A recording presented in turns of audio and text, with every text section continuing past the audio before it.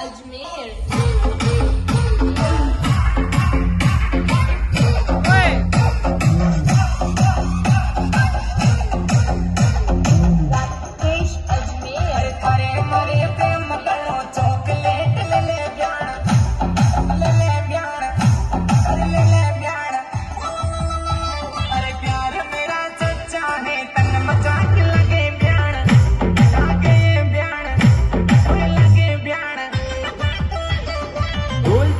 सकते हो और हमें उड़ाने की बात करते हो? तो